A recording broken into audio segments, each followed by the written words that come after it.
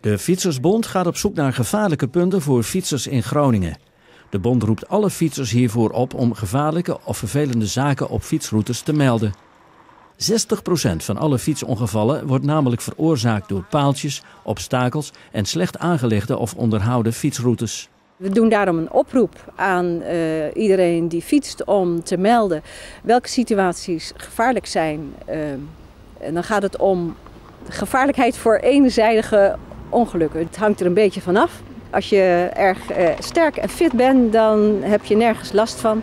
Uh, maar er zijn heel veel situaties waarin je je best onzeker kunt voelen. Het onderzoek naar gevaarlijke punten duurt nog twee jaar. De meningen van stadjes over de veiligheid van de fietsroutes zijn verdeeld. Hier verderop ook. Weet je wel, als je die kant op gaat naar de grote markt, hè? weet je wat die kruising bij McDonald's daar zo, bij die brug, daar, levensgevaarlijk. Bijvoorbeeld hier bij uh, Westersingel, tegenover McDonald's. Dat is wel een gevaarlijke plek. En dat komt van alle kanten door het transport. Je weet niet wie, wie nou voorrang heeft en wie niet. En dan, dan vind ik uh, een beetje gevaarlijk. Nee, ik vind het op zich niet. Als je uitkijkt, dan, uh, ja, dan kan er eigenlijk niks gebeuren.